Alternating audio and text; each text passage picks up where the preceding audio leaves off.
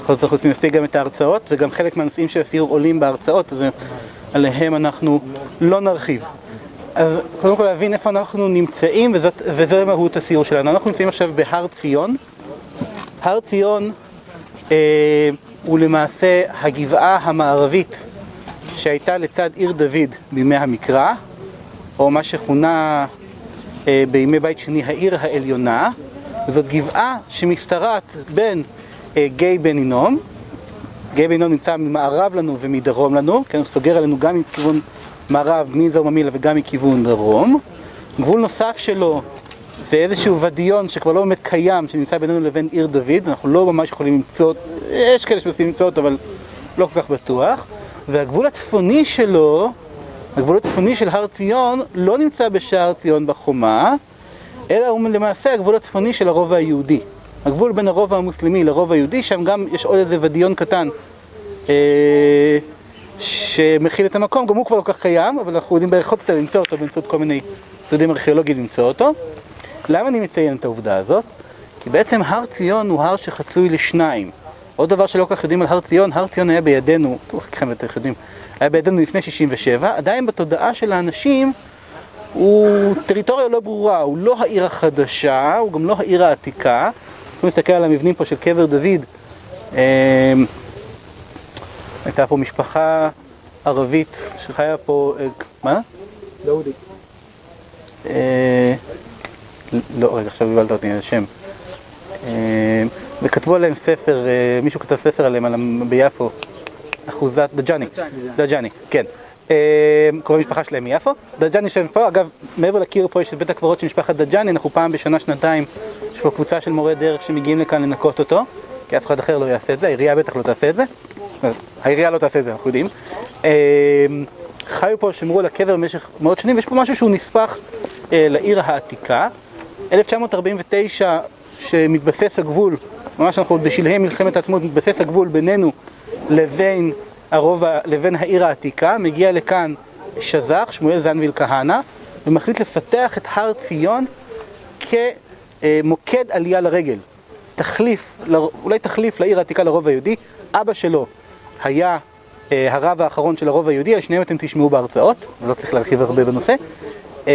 ושני המוקדים העיקריים אולי שאנחנו מכירים פה, יש פה כמה דברים שקורים פה במקביל, אבל שני הדברים היותר עיקריים שפועלים פה זה קבר דוד, במתחם סביב קבר דוד וטקסים, עשור למדינת ישראל הוא דאג שחלק מהתהלוכות והחגיגות של עשור למדינת ישראל יעברו מכאן, את מרתף השואה הוא מקים סביב ינואר 1949, הפרוטוקולים לא הכי ברורים בנושא הזה, אבל אנחנו מדברים על ינואר, ינואר 49 זה התאריך המקובל, אין לי תאריך ספציפי, אנחנו די קרובים לזה, כן, ממש חודש הבא זה 70 שנה למרתף, שזה מעשה ככל שידוע לנו המוסד הממלכתי הראשון להנצחת השואה. מוסד ממלכתי, שכחתי לומר, שמואל זנביל כהנא, שזח, שם העט שלו, היה מנכ"ל משרד הדתות במשך 20 שנה מקום מדינת ישראל עד שנה לאחר מלחמת ששת הימים. בתפקידו זה הוא מקבל את האחריות על המקומות הקדושים, כל קברי הצדיקים שאתם מכירים בגליל ובשפילת יהודה אלה מקומות ששזח בעצמו גילה, או לא חשוב, בכל מקרה, אבל ציין, ציין. ציין, כן, טביעת ידו נמצאת על רוב קברי הצדיקים האלה, חלקם עשרות יותר עתיקות, אבל חלק גדול מהם זה דברים פה שממש מפעלים שלו. והר ציון הוא חלק מהטריטוריה הזאת, כינו אותו גם השריף של הר ציון, הרחוב שיורד פה שמאלה זה רחוב על שמו, אבל תפקידו הרשמי היה מנכ"ל משרד הדתות, והר ציון היה הבייבי שלו, זאת אומרת הוא פיקח באופן אישי, היו לו עובדים שנעלו פה את המקום, אבל הוא באופן אישי פיקח על כל דבר שקורה כאן ויצר כאן אירועים, והוא מצולם כאן פעמים רבות. חוץ מהקבר במרתף השואה יש גם את המרפסת המפורסמת עם חדר הנשיא, אגב לא של בן צבי, כנראה ששזר אם כבר, אבל יש ויכוח מי הנשיא שלא ביקר שם אף פעם, ומי הנשיא שבעליו קראו לו שמו. עוד קישור לרובע, רק אגיד, אציין פשוט נקודה שלא מכירים אותה, אבל אחת האנדרטאות מיני רבות של חללי הרובע נמצאת מעל הקבר בעמדה של צופה, של משפחות שמגיעות ויכולו לצפות על, על הרובע שלא נמצא בידינו, וליד יש את האנדרטה של הנופלים. מכיוון שלא היה להם קבר, הם זכו להרבה אנדרטאות. אז אנחנו נכנסים, אם כבר מזכירים אנשים שאין להם קבר, יש להם הרבה אנדרטאות, בהקשר של חללי הרובע, אנחנו ננסה בסיור שלנו בעצם לקשר בין מרתף השואה לבין הרובע היהודי, אז אנחנו נתחיל את הסיור כאן. מרתף השואה נמצא בתוך בית אה, קדום מהבתים של משפחת דג'אני שישבה פה מסביב, אני לא יודע בין כמה הבית, אבל אה, חלק מה, מהסביבה שנמצאת כאן כשסזך מגיע לכאן ובעצם משתלט על המקום, הוא עושה את זה כמנכ"ל משרד הדתות, זאת אומרת המקום היה מוסד ממשלתי, הרישום של הבעלות או הרישום של השייכות של משרד הדתות למקום קצת לא הייתה כנראה מאורגנת עד הסוף. אה, ולכן לאחר מלחמת ששת הימים כשהר ציון ננטש לחלוטין והר ציון אה, ננטש אה, באופן רשמי בשבועות 67 כי במקום ללכת לקבר דוד כמו כל חג שבועות אף אחד לא הולך בחג שבועות. בתוך חג שבועות ההורים שלי היו שם אף אחד לא הלך לקבר דוד. כולם הלכו ישר לכותל. דילגו על המקום וזה סוף המפעל שהיה כאן באופן קצת המשיך אחר כך אבל בסופו של דבר זה סוף המפעל של הר ציון. מה שמוכיח עוד את הקשר שלו לרוב היהודי מרגע שיש רוב היהודי המקום הזה נהיה מיותר. מרתף השואה עובר תהליך של הזנחה מאז ובשנים האחרונות הוא משוקם על ידי אה, ישיבת התפוצות ועמותת המרתף בעצם מנוהלת על ידי ישיבת התפוצות. אני בעצמי, אני בעצמי, אני כאן 17 שנה. אז זה אהרון שמנהל פה את המקום? אני בעצמי, סבא וסבתא שלי נרצחו בשואה, ואני הנכד היחיד שלהם, אבא שלי הוא היה אסיר באושוויץ ודכאו, אני בן יחיד שלנו, אני כאן 17 שנים מתרשם מכל יום. איך קוראים לזה היום? לפני 17 שנים לגמרי, לגמרי שונה. היה ממש, היה המרכיב כן. של הישיבה, כמו המחסן של הישיבה, לא יותר מזה. אספנו המון המון פריטים כאן, יש 17 שנים במקום, כל הכל לכם שאתם מגיעים היום. תודה רבה אהרון. אז אהרון עבר 17 שנים, באמת כמו שאהרון אומר, המקום במשך כ-20 שנה, 25 שנה פשוט היה נטוש לחלוטין, גם פתוח. וזה לא רק שזה גם היה מחסן של הישיבה, גם לא היה שמירה על המקום. חלק מהדברים נשברים, אני קצת אסביר על הדברים, גם אסביר גם מה נעלם מכאן. אבל ירד כבר קרנו מאז שהר הרצל התחיל להיפתח, כבר ירד קרנו. ירד קרנו, אבל אה, שזך עד 67 עוד שומר על המקום. לא, זה נכון, זה נכון. אה, נכון, לא, ודאי, יד ושם זה תחרות אחרת, אבל כל עוד שזך מנכ"ל משרד הדתות, הוא שומר על המקום הזה. ברגע שהוא מפסיק להיות מנכ"ל משרד הדתות, המקום הולך ומידרדר גם מבחינת ההחזקה של המקום. שימו לב, אם כבר נדבר על דרך נסיגת ההזנחה של המקום, נציין פה משהו אחד. אתם, מה שהמקום פה הוא בעצם מקום, קודם כל מקום לומר קדיש. יש מושג שצריך להזכיר, מושג שנקרא לנדשפט, קהילות יוצאי מקום, אה, מושג שקדם לשואה, אבל בשואה הוא קיבל אה, יותר חשיבות, גם אחת ההרצאות תעסוק בזה. הלנדשפט זה קהילת היוצאים, אנשים שמתעסקים בניו יורק או בישראל או בכל מקום שיש קבוצה גדולה של אנשים שמוצא שלהם משותף, והם מתארגנים. המושג הזה מקבל משנה חשיבות אחרי השואה, כשיש צורך להנציח לא רק לזכור באיפה באנו, אלא גם להנציח את הנספים. כל קהילה מגיעה, מעצבת את המצבה שלה בעצמה. אגב, התהליך פה, בחלק מהדברים שהם עושים פה בשבע עשרה שנים האחרונות, זה לנקות גם את המצבות, חלקם היו במצב מאוד בעייתי. חלק מהקהילות, יש פה מגוון מאוד גדול, למשל חלק מהקהילות יודעות לומר מתי חל הפוגרום, כן, נגיד האיינזס גרופן, שחיסלו קהילות במק... באותו יום שבו הם הגיעו, חלק מהקהילות יש תאריך של השמדה, חלק מהקהילות זה לא תהליך של השמדה, אלא אקציות אחרי אקציות אה, לאורך השנה. למשל, פה אנחנו רואים אה, צמרניקי ליד לובלין, שהתאריכים זה תרצת השואה, זאת אומרת שנות השואה. אין תאריך אה, מסוים. עיר ליד, אנחנו רואים פה שנת תש"ב, ט' באלול, אה, ממש תאריך של אקציה, שזה גם תלוי בגודל של העיירה, כל קהילה והסיפור שלה, והמצבות פה הן מצבות שהקהילות מפתחות. יש מי שרוצה לשים מנורה, יש מי שרוצה לשים מגן דוד, כל אחד בוחר, ויש קהילות, בכל מקום שאתם רואים שיש שטח ריק מתחת למצבה, שלא כמו פה אלא פה, יש לנו את הכיס הקטן הזה, עם מגילת ההשמדה, שבו מציינים גם את השמות של הנספים. חלק גדול מהמגילות האלה נעלמו כחלק מהזנחה של המקום, חלקן כבר לא כאן, חלקן אה, פשוט נהרסו, אה, כל מיני תופעות שכאלה, ואלה המצבות שאנחנו רואים כאן מאות מצבות. יש קהילות, יש עדיין קבוצות שעד היום אנשים מבוגרים שבאים לכאן בתאריך ה... שהם בוחרים כתאריך האזכרה, לקיים את, תהליך, את, את טקס האזכרה של הקהילה שלהם. עוד דבר, המקום הזה הוא גם אה, מרתף אה, ומקום קבורה לספרי תורה ותשמישי קדושה, שדורשים גניזה וקבורה, גניזה דהיינו קבורה, ובעצם המקום הזה מוגדר כמקום ככשר לגניזה מהבחינה הזאת. אה, ספרי תורה, תשמישי קדושה שניצלו מן המחנות. והפריט החשוב ביותר בעיניי בספר, בחדר הזה, זאת כריכה של ספר, הספר עצמו לא שרד, אה, ספר אה, הזהב לחברה ביקור חולים מושג שלא קיים היום, אבל בקהילות יהודיות לפני 70 שנה ויותר מזה, במאה ה-19 ולפני כן, נהגו לנהל ספרים של ביקור חולים, של מעשים טובים, של צדקה, של יולדות. כל מעשה טוב שאנשים עושים נרשם בספר. מעשיך בספר נרשמים. אה, זה דרך לגבש את הקהילה, זה דרך לעודד אנשים לעשות למען הקהילה.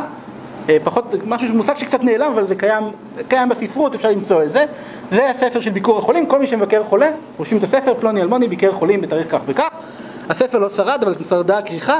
הספר הזה הוא של קהילה אה, די עמידה מפולין, ממערב פולין שלפני השואה, אה, קהילת אושפיצין. מי שלא מכיר, אושפיצין זה השם הפולני של אושוויץ. אז אני מאוד, אני מאוד, לא יודע, קשה לומר לדבר במושגים חיוביים במקום הזה, אבל זה מוצג שמאוד נוגע לליבי על המעשה הטוב שנמצא אל מול העדויות למעשים הפחות טובים שנעשו באותו אה, מקום. מה זה? מה, ביקור חולים? כן. זה דרך לגבש ככה כאילו התנהגו, זה דרך לגבש את הקהילה, זה דרך לעודד מעשים טובים, זה דווקא משהו מאוד נחמד. קהילות שעשו את זה היו יותר מגובשות ויותר פעילות, זה מושג שנעלם אה, בעידן המודרני יותר, אבל ככה, ככה נהגו. אה, משהו יפה כזה, אני חושב. אנחנו נכנסים פה, בעצם המרתף מורכב מכמה חללים. אה, אני לא יודע בדיוק מה הייעוד המקורי שלהם, כן? אה, קשה לדעת איך גם נראה הצורה המקורית של המקום, כלומר אתם מוזמנים להיכנס עוד. אתם רואים עוד ועוד מצבות, אני ארצה להתייחס לכמה מצבות מסוימות, קודם כל נלך לכאן, אחת המצבות שיותר מעניינות בהקשר של להבין את המקום ואת המרתף. אני עומד כאן בפינה, יש פה ספר תורה שהושמד והוא מנולץ ב...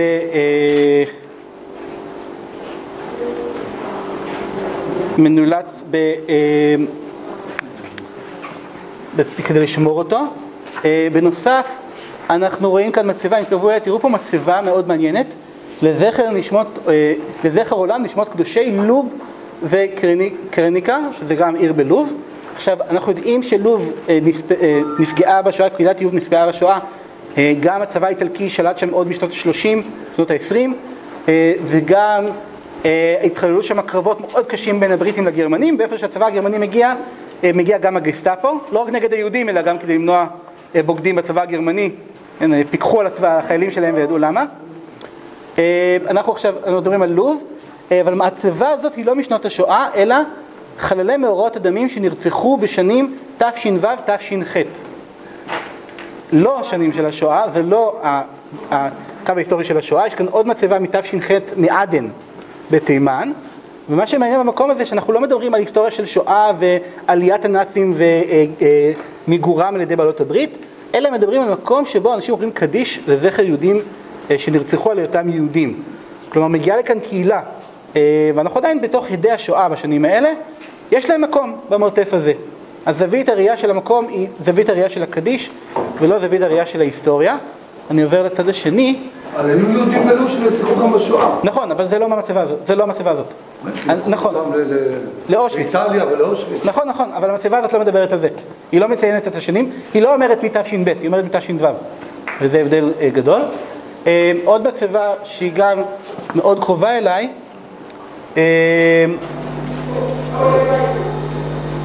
לזכר, אתם תראו פה ממש מעל הקשת, יש פה מסמר כזה, לזכר הקורבנות מווינה. שבדרכם מווינה לארץ, יד הרוצחים מסיגם ונספו אה, ביום 12-13 באוקטובר 1941 אה, על יד שבץ יוגוסלביה. קבוצה שיוצאת מווינה עוד לפני אה, פרוץ המלחמה, סוחרת אוניות מפליגה בדנובה במטרה להגיע אל חופי הים השחור ולהפליג באוניות לישראל, העפלה הבלתי לגלית ערב מלחמת העולם השנייה. הבריטים במאמצם לעצור מעפילים, פרק פחות ידוע, לא רק, שהסתפ... לא רק עשו אה, קיטור על, אה,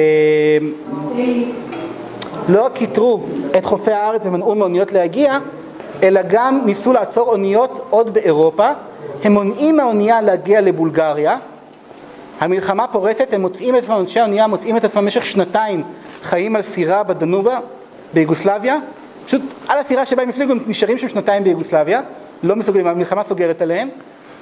עם פרוץ המלחמה, קבוצה של 200 נערים מצליחה לקבל סרטיפיקטים ולעלות ארצה. כל השאר נשארים שם, 200 חניכי תנועות נוער מצליחים איכשהו לקבל סרטיפיקטים, ואז הבריטים נותנים להם לעבור. זאת אומרת לא, לא מונעים מהם את המשך המסע, שאר האנשים נשארים שם באונייה במשך שנתיים, כאשר הגרמנים כובשים את יוגוסלביה, עוד לפני שהם מטפלים בשאר יהודי יוגוסלביה, אלה הראשונים בתור, מבחינת הגרמנים אתם פליטים, אתם לא שייכים לשום מקום, יאללה. אז בזה נגמר הסיפור. אני חושב שזו נקודה מעניינת, אנחנו מדברים הרבה על השאלה מה ניתן היה לעשות, האם ניתן היה לברוח. אנחנו מדברים פה על קבוצה שהשקיעה הרבה מאוד מאמצים, שכרה שתי אוניות, הפליגה, זה לא עבד. המשפחה שלי למשל עזבה שבועיים אחרי התאריך הזה שבו הם נרצחים, המשפחה שלי עוזבת את וינה לארצות הברית. יד הגורל פה היא מאוד, זה לא עבד לפי השאלה מי עשה ומי ניסה, הסוגיה היא קצת יותר מורכבת מזה. אני, אני רוצה מתישהו לצאת מכאן בכל זאת שנוכל להספיק לראות דברים וגם קשה להכיל את המקום. מי שמסתכל דרך השער פה, אני לא רוצה להיכנס לשם כרגע, מפאת קוצר הזמן, יכול לראות שם קדים כחולים לבנים. סיפור מאוד מעניין שמתקשר גם למצבה שנמצאת לידינו כאן.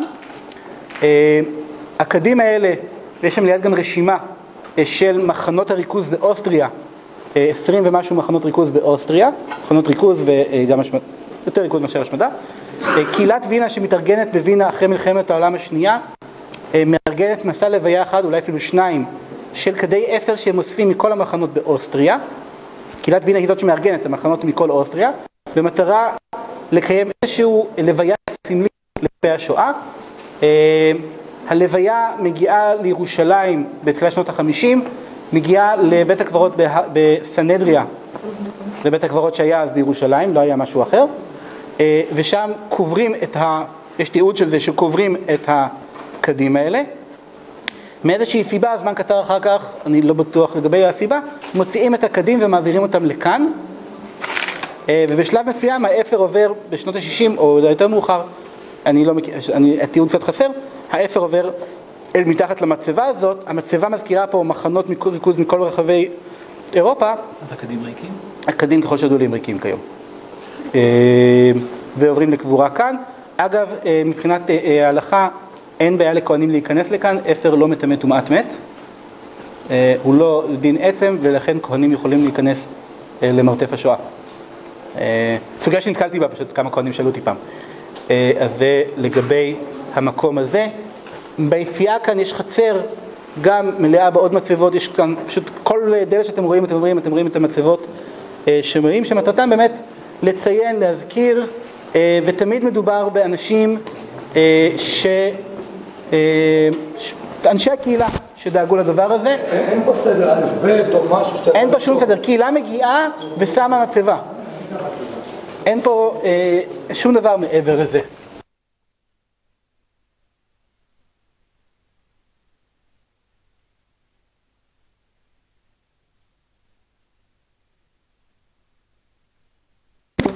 אפשר לראות מצבות שממש מחוקות ורק דאגו לשמור את השם של, של הקהילה. עוד פעם, המקום הזה הוזנח במשך עשרות שנים. מה זה אלכסנדריה? זה לא במצרים, לא? אה, לא, אלכסנדריה במצרים ודאי לא יכול להיות. לא, זה באירופה, זה בפולין, וולין. עיר בשם אלכסנדריה? זה אזור פולין. אה, כן, יש פה באמת מאות על מאות של מצבות מכל מיני אזורים, מכל הארצות. 1500 ובאיזשהו מקום קראתי 2000. אף אחד לא יודע. זה באמת... בסדר. יש רשימה של כל הקהילות? אה, לא? לא, זה, זה באמת לא, זה לא מפעל מתועד או מפעל שהוא מאורגן, זה לא בקעת הקהילות ביד ושם, אה, ויש מצבות שנשברו ומוצאים אותן עכשיו מפוזרות בכל מיני מקומות. אה, תגידי, סליחה רגע, כן, מה זה? ישיבת התפוצות. כאילו לפי איזשהו, מה, תרומות או מה? אה, קצת מנסים לגייס, אה, לגייס משאבים. אז אה, הבוס שלי הזכיר שאנחנו צריכים להתקדם בסיור.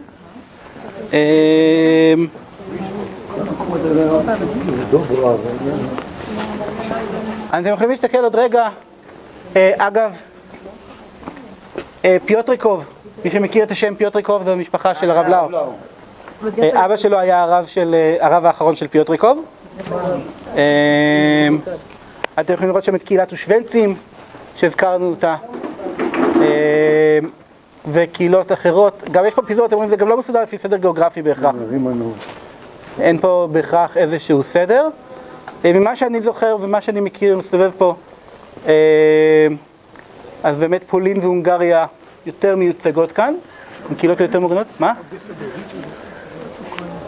אה, כן, לא לא בעבר לא יחשבו את זה כאוקראינה, אתה יודע, יהודים יחשבו את זה כפולין, אבל כן. בן אה, אדם- שהוא אה, ניצול מאיזשהו מקום, מחליט להנציח את הקהילה שלו, פונה לפה, ואז... כבר שנים, אני לא יודע מתי בפעם האחרונה שמו פה מצבה, לדעתי כבר עשרות שנים לא עושים אבל את זה. זה- זה הרציונל. זה הרציונל, אבל לדעתי כבר עשרות שנים זה לא קרה. אני יכול לבדוק, אבל זה כבר לא קורה. כמובן הרבה מקומות שלא מיוצגים, יש קהילות שלא נשאר מי שינציח אותם. או שלא היה מי שינציח, כן. ינציח למרות שהיו... אה, אה, יש מקומות, כן, ודאי. בואו, אנחנו מתאספים, אנחנו צריכים לצאת. אני מבקש, כל מי שאיתי בקבוצה, להצטרף אליי, אנחנו צריכים אה, להמשיך לתחנה הבאה. יש שם עוד אנשים? בואו, חבר'ה, מי שאיתי בקבוצה, אנחנו מצטרפים, אנחנו יוצאים מהמרתף, אנחנו הולכים לכיוון הרובע היהודי. יאללה, אוקיי. אנחנו מתקדמים, אז תבואו אחר, אנחנו עוברים דרך הקבוצה השנייה.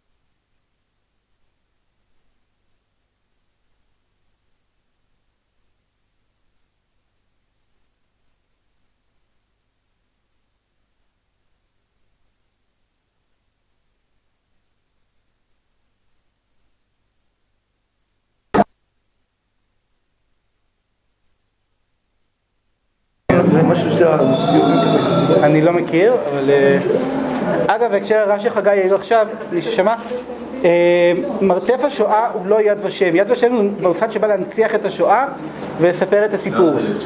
כאן אנחנו לא מדברים על הנצחת השואה, אנחנו במקום עצמו.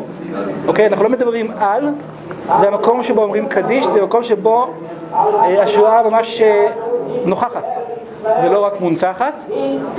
מהבחינה הזאת, זה לא מוזיאון היסטורי, אלא כבר אה, אתר בפני עצמו שאפשר עליו לדבר.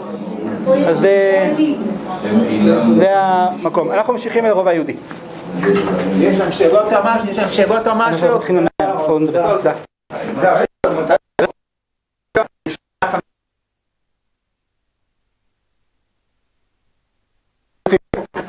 אנחנו יוצאים, אנחנו יצאנו. אוקיי, אנחנו עוברים לדרך כתב איש איתי.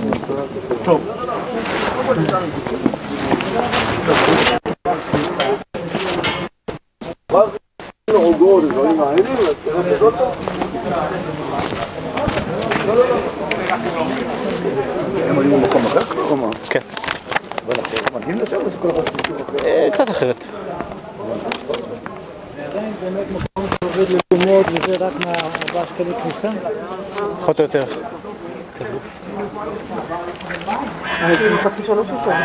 בואו, אנחנו צריכים ללכת קצת מהר, אנחנו צריכים להגיע לבית כנסת החורבה ממש עכשיו. אה, אז אני מבקש מי שבקבוצה איתי, להצטרף אליי, להצטמד, ל- לבוא איתי בקבוצה ולא להתעכב. אה, נראה. אוקיי. אוקיי. טוב, נדבר תוך, כדי ההליכה. אנחנו עומדים עכשיו לחצות את, אה, את שער, אה, את שער ציון. שער ציון שלפני קצת יותר מ-70 שנה, אה, בשלהי, בשלהי האביב, לקראת הקיץ, נאלצו תושבי הרובע ביום שישי, ממש ערב שבת, לחצות אותו ולעבור אל הצד היהודי של הצד שנמצא בשליטת צה"ל. רק שתבינו, כשהם יצאו לדרך מהרוב היהודי עוד הייתה שמש בשמיים, אבל עד שהם סיימו לרדת ברגל את הר ציון, להגיע לרכבים שצה"ל חיכה איתם, כבר, נפתח, כבר, כבר ירדה השבת. אה, יש אגב תערוכה שנפתחה ממש עכשיו בחצר היישוב הישן, לזכר הסיפור של מעבר תושבי הרובע אל שכונת קטמון. אה, ויש שם כמה תיעודים וסיפורים, ראיונות עם אנשים, סיפורים מעניינים, מתארים איך הם עולים על הרכבים כבר בשבת. חלק מהמשפחות שמגיעות לקטמון, משפחות פחות דתיות, אה, שרצו להיאחז בהדלקת הנרות של ערב שבת, מדליקות הנרות כבר עמוק עמוק בחשיכה. המשפחות היותר דתיות כמובן לא עשו את זה, אבל זה מתאר את המשבר, את הניסיון של אנשים קצת להבין מה, מה קורה בבת אחת, הם עברו מבית שהם מכירים, ובלי הרבה הכנה מראש, האזרחים בוודאי לא ידעו מה קורה, הם נאלצים לעזוב את הרובע. וכאן למעשה בעצם עובר הגבול, אה, אנחנו עכשיו כבר בעצם כבר אה, חוצים את ה... בוודאי בזמן המלחמה אנחנו כבר די חוצים את הגבול, מצד ימין לנו ב-48 כבר יש עמדות ירדניות. הרי חלק מעמדות הירדנים לא על החומה, אלא ממש מצד ימין שלנו. שם היה הרי מחנה ירדני. כן, לא, אני מדבר קרוב, אני אומר פה, איפה שעצי זיתים. היו כבר, מחנו, היו כבר עמדות ירדניות, למה זה קטוע? אה, אני לא יודע. אה, אני לוחצת אז עוד קצת, אבל... אבל יש לך בעיה באוזניה כנראה. כן. אוקיי. אנחנו נמשיך, אנחנו צריכים להגיע עכשיו אל, אל בית כנסת החורבה, לתחנה הבאה של זיו, ואנחנו נלך יותר אה, מהר.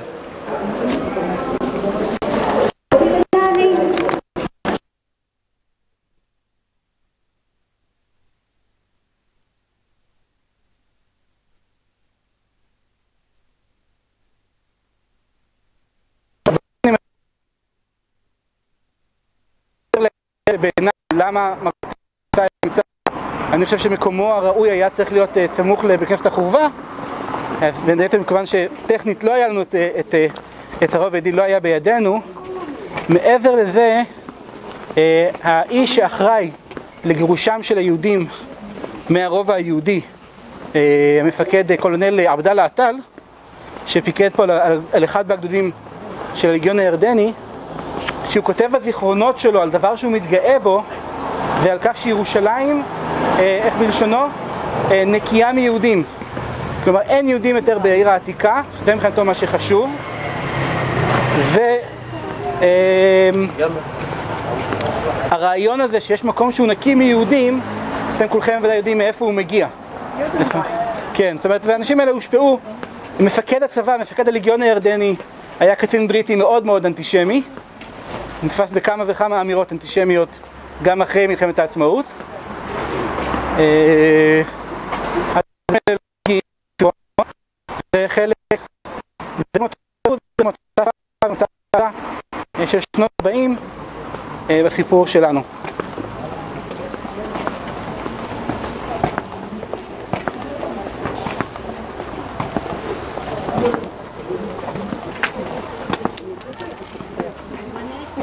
הוא היה חי במלחמת ששת הימים? מי? זה התל הזה עם השמות. אני חושב שלא. מה זה? אני חושב שהוא, אני לא בטוח. אם כן, הוא היה מאוד חולה כבר, הוא אה, לא היה אדם בריא. לא משנה, הכל. אני לא בטוח. אני האמת לא בדקתי את זה אף פעם. אה, הוא גורש בשנות ה-50 מירדן, הוא היה לאומן פלסטיני, וב-52 כבר גירשו אותו מירדן, הוא היה בגלות במצרים. אה, חזר בגיל, רק כשהוא היה זקן מאוד, חוסיין הרשה לו לחזור. אתה יודע שכבר עוד נזק הוא לא יכול לעשות. הרשו לו לחזור לירדן. אני לא זוכר באיזה שנה זה היה. מאמין לא.